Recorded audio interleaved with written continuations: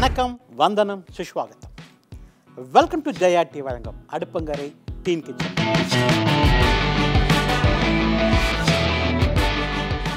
நம்ம டீன் கிச்சனில் நிறைய குழந்தைங்க வந்து கற்றுட்டு போகிறாங்க இன்னைக்கு வந்திருக்கவங்க நிவேதா. நிவேதா உங்களை பற்றி சொல்லுங்கள் பாப்போம். என் பேர் Nivetha. Second year Apollo arts and science காலேஜில் படிக்கிறேன். பிகாம் ஜென்ரல் கண்டிகையிலேருந்து வரேன். கண்டிகை எதுங்க இருக்குது கண்டிகை? ஆ, கண்டிகை வண்டலூர் தாண்டி சார் நான் நினச்சேன் ஸ்ரீலங்காவில் கண்டிகை அது வந்து வண்டலூர் தாண்டி கண்டிகை இருக்குங்களா அப்படியா? ஓகே. அப்புறம் உங்கள் ஹாபி ஹாபி டிராயிங் நல்லா பண்ணுவேன் சார் அப்புறம்? புக்ஸ் படிப்பேன். Okay very good wall painting நிறைய பண்ணுவேன் sir very good so you lot of patience இருக்குது நிறையா. எஸ் சார் பொறுமையோட நிறைய பண்ணுவீங்க. Very good sir. அது about the food part cooking ரொம்ப பிடிக்கும் சார் நல்லா பண்ணுவேன். நான் நல்லா பண்ணுறேன்னு அம்மா என்னையும் சமைக்க விட்டுறாங்க. அப்படியா? நல்லது தானே? உங்களுக்கு சாப்பாடு சாப்பாடு குத்தி கொடுத்து வச்சுக்கணும்ல? ஆமாம் ஆ வெரி குட் உங்களுக்கு எந்த மாதிரி ஃபுட் பிடிக்கும்? நான்வெஜ் எனக்கு பிரியாணி தான் சார் பிடிக்கும். அப்படி எந்த பிரியாணி இருந்தாலும் பரவாயில்ல. ஆஹா சிக்கன் பிரியாணி. சிக்கன் பிரியாணி தான். இப்போ இன்னைக்கு மஷ்ரூம் பிரியாணி தானே பண்ண போகிறோம் பரவாயில்லையா? பரவாயில்ல. பரவாயில்லையா? ஓகே இன்னைக்கு நிவேதா பார்த்தீங்க அப்படின்னா பிரியாணி ரொம்ப பிடிச்ச பிடிக்கும்னு சொல்லியிருக்காங்க. அது மாதிரி சமையல் ஆர்வம் நிறைய இருக்குது பெயிண்டிங் அண்ட் டிராயிங் வந்து ரொம்ப கலக்கிட்டு இருக்காங்கன்னு சொல்லிட்டு இருக்காங்க ஸோ அவங்களுக்கோசம் நம்ம பண்ண போகிற டிஷ் பார்த்தீங்கன்னா இன்னைக்கு மஷ்ரூம் பிரியாணி பண்ண போகிறோம் நம்ம கிச்சன் போய் பண்ணலாமா? வாங்க.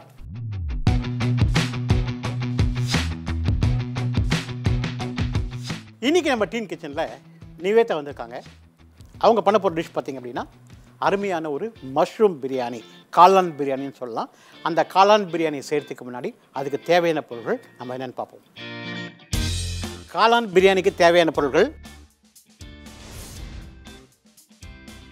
காளான் இரநூறு கிராம். பாஸ்மதி அரிசி அரை கிலோ. வெங்காயம் ரெண்டு கை. தக்காளி பழம் ரெண்டு கை.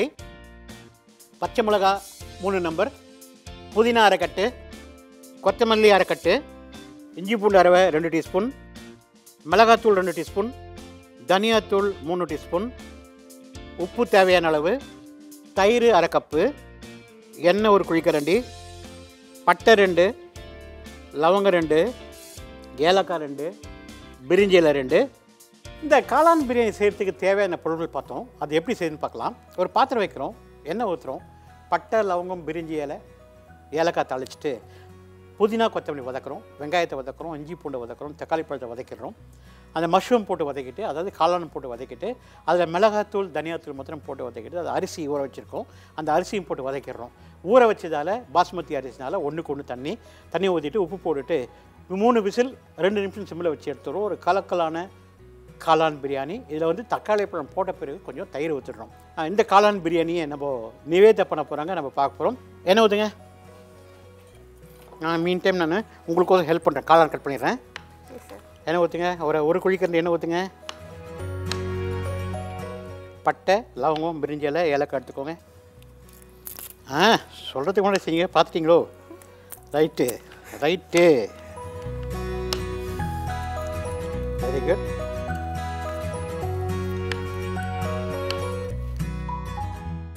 ஒரு கை புதினா போடுங்க.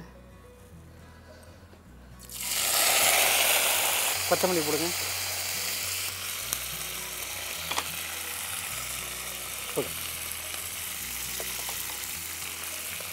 வதக்குங்க.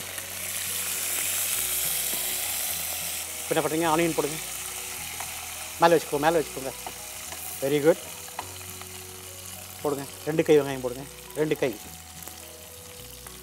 இன்னும் கொஞ்சம் கொஞ்சம். ஆ போதும் போதும். ஓகே நல்லா வதக்குங்க.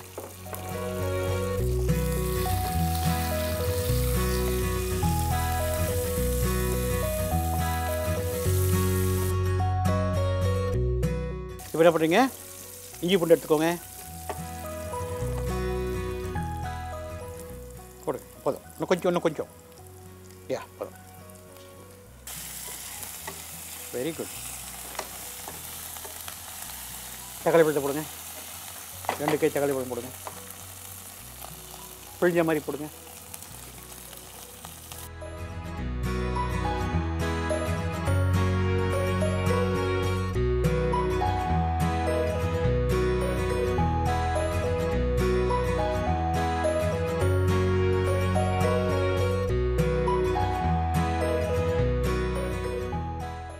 ஓகே இப்போ என்ன பண்ணுறீங்க பச்சை மிளகாய் போடுங்க.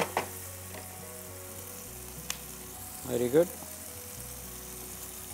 குட் இன்னொன்று போடுங்க. ஓகே அதுக்குங்க. இப்போது தயிர் எடுத்துக்கோங்க. தயிர். இன்னும் கொஞ்சம். இன்னும் கொஞ்சம். போதும். ஓகே. அப்படியே வச்சுக்கோங்க வெரி குட் வெரி குட் நல்லா மிக்ஸ் பண்ணிக்கோங்க நல்லா மிக்ஸ் பண்ணுங்கள் சுறுசுறுப்பாக மிக்ஸ் பண்ணுங்க பார்ப்போம் ஆ அப்படி. வெரி குட் இப்போ என்ன பண்ணுறீங்க நான் ஃபயரை ஸ்டோவ் பண்ணிக்கிறேன். நீங்கள் மிளகாத்தூள் எடுத்துக்கோங்க. போடுங்க. வெரி குட் வெரி குட் இன்னும் கொஞ்சம் போடுங்க. சூப்பரா போதும் அது போதும். வெரி குட் ஓகே அதே மாதிரி தனியாத்தூள் எடுத்துக்கோங்க. ம் போடுங்க இன்னும் கொஞ்சம் போடுங்க பார்த்துட்டு வேண்டாம் இன்னும் கொஞ்சம் போடலாம் நான் ஸ்லிம்பு தான் வச்சுக்கேன் இன்னும் கொஞ்சம் போதும் போதும் ஓகே மிக்ஸ் பண்ணிக்கோங்க இப்போ நல்லா மிக்ஸ் பண்ணிக்கோங்க உங்கள் பேர் என்ன சொன்னீங்க இது பேர் உன் பேர் இது பேர் மஷ்ரூம் ஓகே இதில் போடுங்க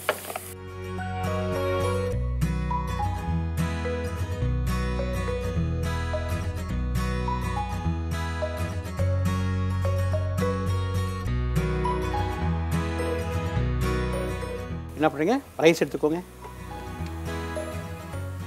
போடுங்க. அப்படியே போட்டுருங்க.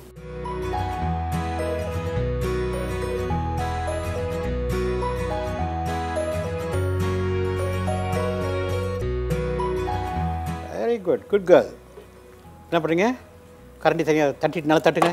நல்லா தட்டுங்க. வெரி குட் பக்கத்தில் வச்சுக்கோங்க கரண்டியை. உப்பு போடுங்க.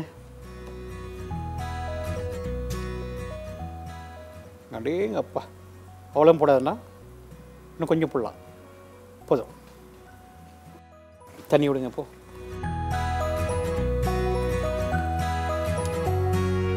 ஒரு நிமிஷம். ம் விடுங்க தண்ணி விடுங்க இப்போ விடுங்க விடுங்க விடுங்க விடுங்க விடுங்க விடுங்க விடுங்க. ஒரு நிமிஷம் போதும். போதும் போதும் போதும். சூப்பர். இப்போது இந்த தண்ணி அளவுன்னு சொல்லும்போது இது வந்து பர்ஃபெக்டான தண்ணி. இந்த கால் கரண்டி தான் அந்த ரைஸை டச் பண்ணணும். சப்போஸ் இந்த அரை கரண்டி உள்ளே போயிடுச்சு அப்படின்னா தண்ணி ஜாஸ்தி இருக்குன்னு அர்த்தம். இந்த கால் கரண்டியில் டச் பண்ணும்போது தண்ணி பர்ஃபெக்டாக இருக்குன்னு அர்த்தம். பாஸ்மதி அரிசி ஊற வச்சதால என்ன பண்ணேன் ஒன்றுக்கு ஒன்று தான் தண்ணி விட்டுருக்கோம்.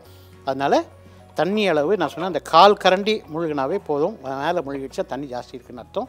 குக்கர் போட்டு மூடிடுங்க போவோம்.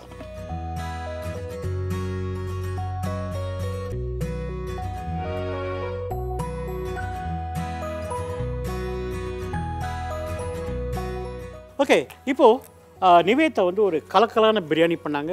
எண்ணெய் ஊற்றிட்டு பட்டை லவங்கம் பிரிஞ்சில் தாளிச்சிட்டு புதினா கொத்தமல்லி தாளிச்சிட்டு வெங்காயத்தை வதக்கிட்டு இஞ்சி பூண்டை வதக்கிட்டு தக்காளி பழத்தை வதக்கிட்டு தனியாத்தூள் மிளகாத்தூளை போட்டு அதுக்கப்புறம் காளானையும் போட்டு வதக்கிட்டு அந்த அரிசியும் போட்டு வதக்கிட்டு ஒன்றுக்கு ஒன்று தண்ணி விட்டு உப்பு போட்டு விசிலில் மூணு விசில் ரெண்டு நிமிஷம் சிம்மில் வச்சு ஒரு கலக்கலான மஷ்ரூம் பிரியாணி. இது கூட தயிர் பச்சடி சாப்பிடும்போது கலகலாக இருக்கும். அதே மாதிரி ஒரு முட்டை தொக்கு இல்லைன்னா கத்திரிக்காய் சாப்ஸு உருளைக்கிழங்கு சாப்ஸோடு சாப்பிடும்போதும் இந்த மஷ்ரூம் பிரியாணி கலகலாக இருக்கும்.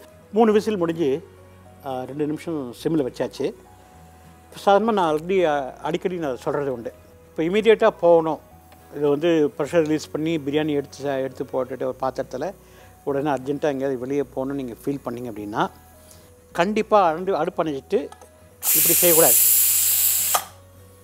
அது மாதிரி செய்யும்போது சமயத்தில் குக்கர் வெடிக்கிறதுக்கு நிறைய வாய்ப்புகள் இருக்குது அந்த மாதிரி பட்சத்தில் என்ன பண்ணலாம்? சிங்குக்கு எடுத்து போயிட்டு மேலே தண்ணி ஊற்றிட்டா அதை ப்ரெஷர் அடங்கிடும். ஓப்பன் பண்ணும்போது ஈஸியாக ஓப்பன் பண்ணிடலாம். இது வந்து மைண்டில் வச்சுக்கோங்க.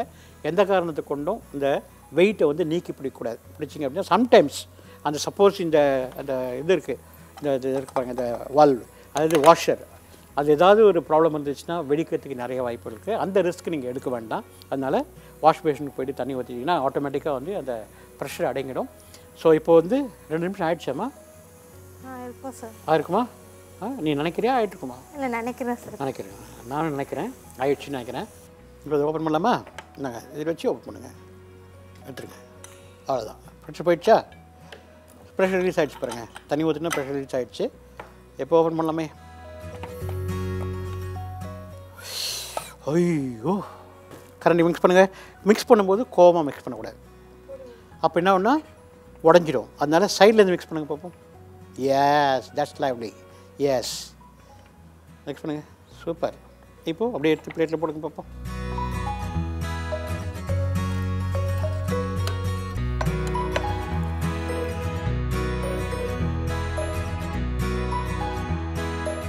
ஒரு மட்டன் பிரியாணிக்கு ஈக்குவலாக வந்து நிவேத்தா பண்ணியிருக்காங்க ரொம்ப அழகாக பண்ணியிருக்காங்க ரொம்ப ரொம்ப நல்லா வந்திருக்கு.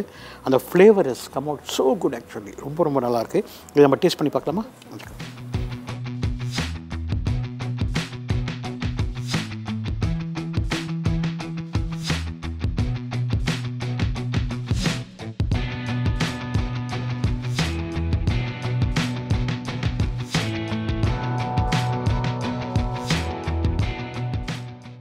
இன்னைக்கு நிவேதா ஒரு கலக்கலான காளான் பிரியாணி பண்ணாங்க. ரொம்ப அருமையாக பண்ணியிருக்காங்க நிவேதா இது நீங்கள் பண்ணீங்க இல்லையா?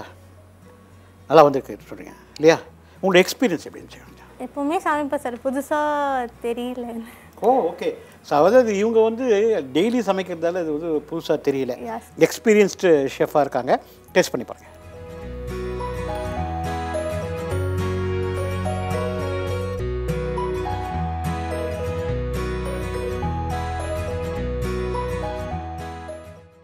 அக்கா அக்கா வெரி குட் ஓகே நிவேதா கலக்கலான ஒரு மஷ்ரூம் பிரியாணி பண்ணாங்க.